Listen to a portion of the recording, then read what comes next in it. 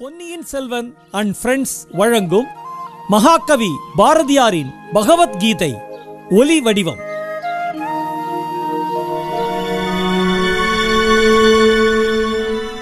அர்ஜுனன் சொல்லுகிறான் என் மீது அருள் பூண்டு எனக்கிறங்கி ஆத்மஞானம் என்ற பரம ரகசியத்தை நீ எனக்கு உரைத்தது கேட்டு என் மயக்கம் தீர்ந்து போயிற்று.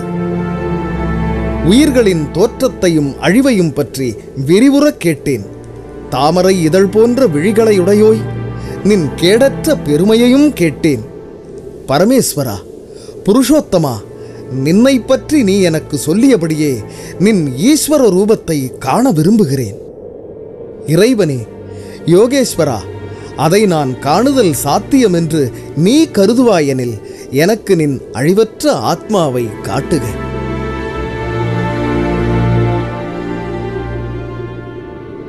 ஸ்ரீ பகவான் சொல்லுகிறான் பல நூறாகவும் பல்லாயிரமாகவும் வகை பல நிறம் பல அளவு பலவாகும் என திவ்ய ரூபங்களை பார் பார்த்தா. ஆதித்யர்களைப் பார் வசுக்களைப் பார் அஸ்வினி தேவரைப் பார் மருத்துக்களைப் பார் பாரதா இதற்கு முன் கண்டிராத பல ஆச்சரியங்களைப் பார். அர்ஜுனா இன்று இங்கே என் உடலில் சராசரமான உலகம் முழுதும் ஒருங்கு நிற்பதைப் பார். இன்னும் வேறு நீ எதைக் காண விரும்பினும் அதை இங்கு காண். உன்னுடைய இயற்கையான இக்கண்களால் என்னை பார்க்க முடியாது. உனக்கு ஞானக்கண் கொடுக்கிறேன்.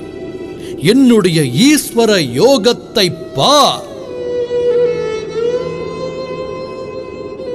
சஞ்சயன் சொல்லுகிறான். அரசனே இவ்வாறு உரைத்துவிட்டு அப்பால் பெரிய யோகத் தலைவனான ஹரி பார்த்தனுக்கு மிக உயர்ந்த தன் கடவுள் வடிவை காட்டினான்.